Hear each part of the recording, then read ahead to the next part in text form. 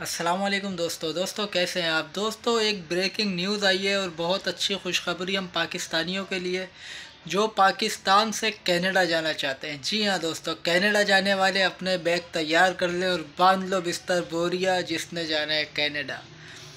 तो कनाडा के मिनिस्ट्री ने यह अनाउंसमेंट कर दिया कि जो पाकिस्तानियों के लिए 802 दिन थे या 830 दिन थे वीज़ा प्रोसेसिंग टाइम पीरियड, ठीक है? ये 800 से ऊपर था, सवा आठ सौ दिन का था।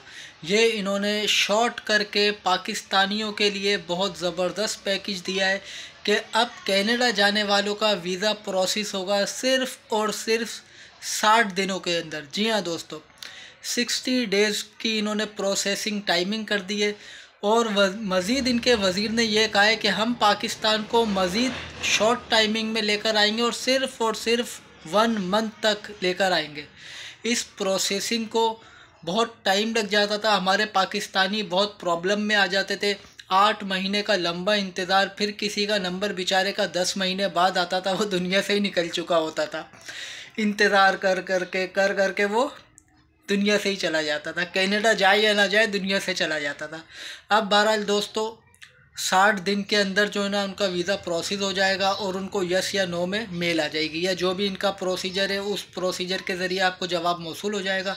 तो मेरी इस ब्रेकिंग न्यूज़ को ज़्यादा से ज़्यादा आप शेयर करें और जो आपके दोस्त, रिश्तेदार कनाडा जाना चाहते हैं, वो जल्द से जल्द अपने डॉक्यूमेंट्स जो है ना, सबमिट कराएँ ताकि उनके प्रोसेस भी जल्द अज जल्द हो जाए।